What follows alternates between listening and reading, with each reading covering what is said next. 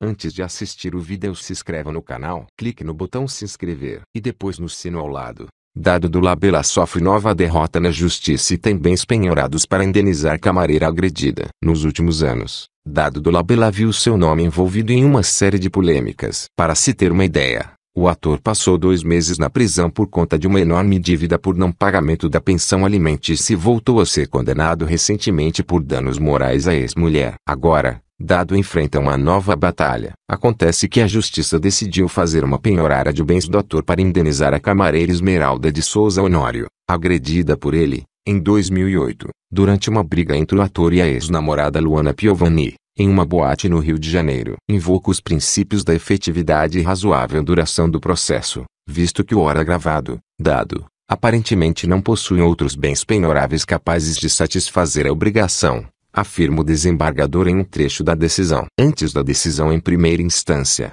Dolabella chegou a oferecer 5 mil reais para Esmeralda de indenização, mas ela negou um acordo. O valor foi oferecido pelos três meses em que a camareira ficou sem trabalhar na época da suposta agressão. A camareira foi agredida pelo ator em 2008, na Gávea, onde a atriz comemorava a estreia da peça Pássaros da Noite, quando Esmeralda tentava separar uma briga dele com sua namorada. O caso ocorreu numa boate na zona sul do Rio. A agressão foi gravada por câmeras do circuito de câmeras da boate. Em 2013, Dado foi condenado a indenizar Esmeralda em 40 mil reais. Desta vez, o desembargador Fernando Cerqueira Chagas determina a penhora de bens recebidos por ele, em uma ação trabalhista movida pelo ator, que tramita na 51ª Vara do Trabalho do Rio de Janeiro, já que ele não possui nada em seu nome, como informa o portal UOL. E aí gostou da dica? Então se inscreva no canal e não esqueça de curtir, comentar e compartilhar este vídeo pois você estará me ajudando muito.